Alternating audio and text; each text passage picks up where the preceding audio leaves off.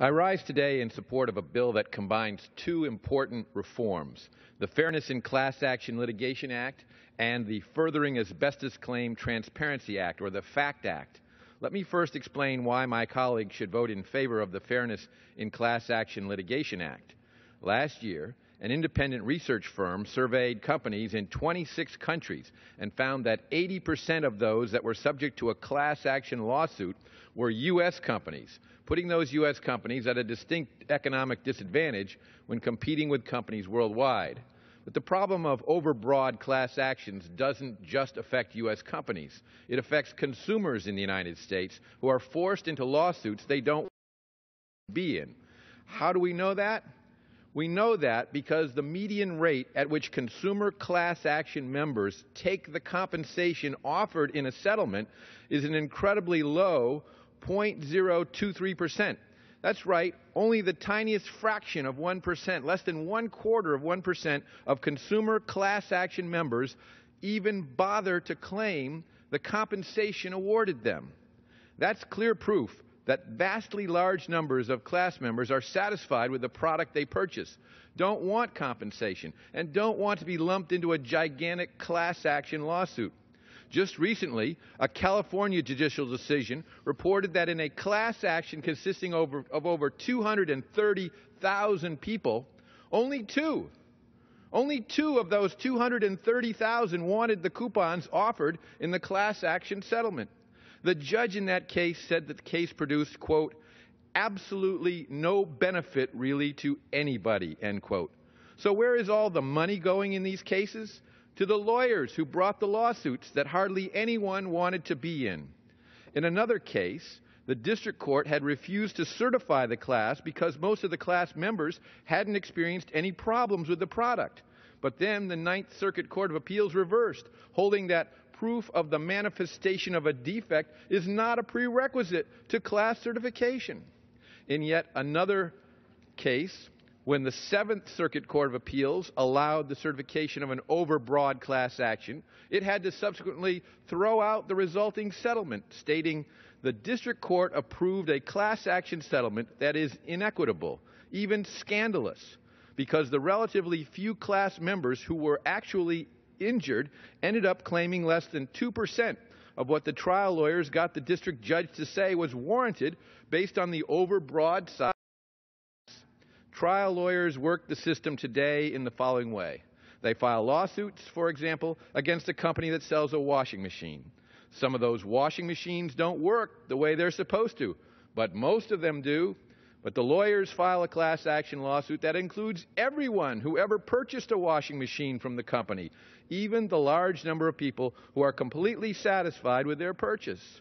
When trial lawyers lump injured, non comparably injured, and non injured people into the same class action lawsuit, the limited resources of the parties are wastefully spent weeding through hundreds of thousands of class members in order to find those with actual or significant injuries.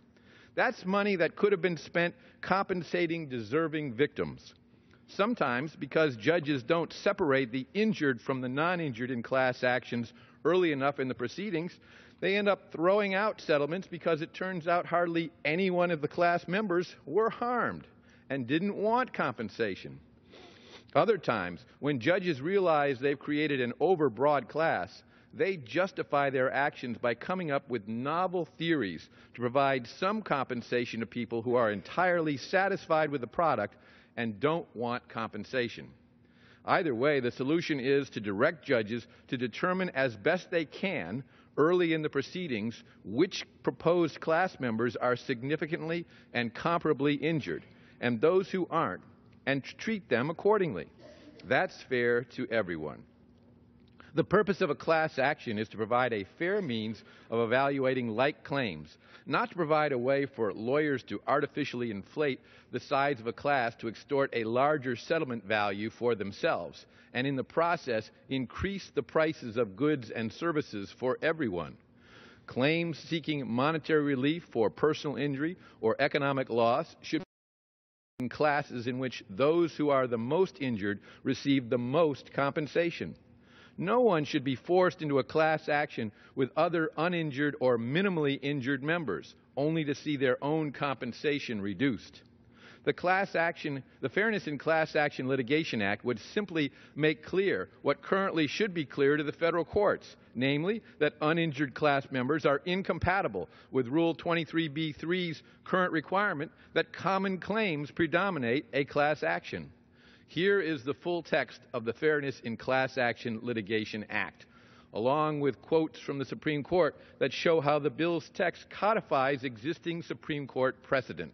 The bill simply provides that no federal court shall certify any proposed class seeking monetary relief for personal injury or economic loss unless the party seeking to maintain such a class action affirmatively demonstrates such a class action that each proposed class member suffered the same type and scope of injury as the named class representative or representatives, and that an order issued under Rule 23C1 of the Federal Rules of Civil Procedure that certifies a class seeking monetary relief for personal injury or economic loss shall include a determination based on a rigorous analysis of the evidence presented that the requirement in subsection A of this section is satisfied. That's it.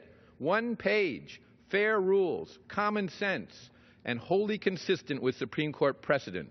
Please join me in supporting this bill on behalf of consumers everywhere. The FACT Act is also simple, fair reform we should all support. This legislation helps asbestos victims who must look to the bankruptcy process to seek redress for their or their loved one's injuries. Too often, by the time asbestos victims assert claims for compensation, the bankruptcy trust formed for their benefit has been diluted by fraudulent claims, leaving these victims without their entitled recovery. Fraud is able to exist because of the excessive lack of transparency plaintiffs' firms have forced on the asbestos trust system. Under the current bankruptcy code, plaintiffs' firms essentially are granted a statutory veto right over debtors' Chapter 11 plans that seek to restructure asbestos liabilities.